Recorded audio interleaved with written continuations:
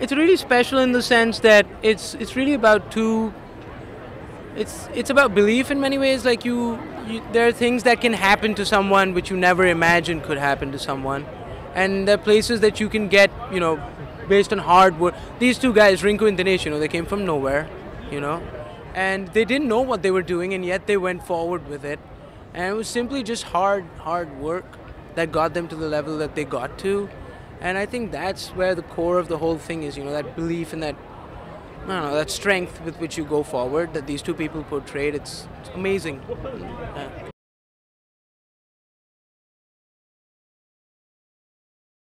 These are one of those things that you can never go back from. You know, once you've gone past that, you you know, you're not ever gonna you know fall back towards the back side of that.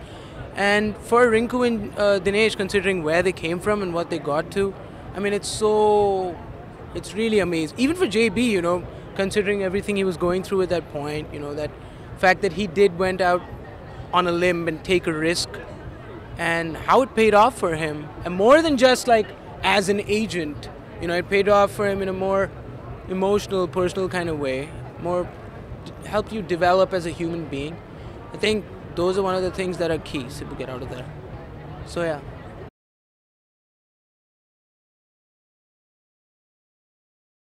I think what he's doing is really great simply because of the fact that it gives you or gives these children or these guys this one opportunity which in usual life will never come.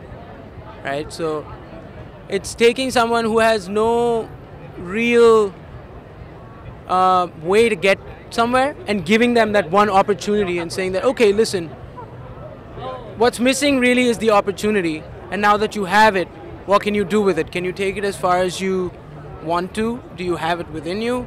So I think what he's doing is really great. It's giving a lot of people an opportunity that they would usually in normal life not get. It's, really awesome.